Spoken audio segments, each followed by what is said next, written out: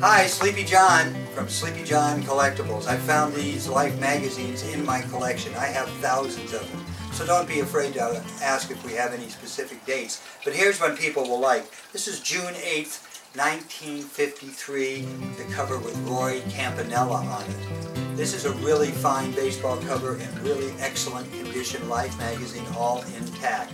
So if you're interested, make us an offer.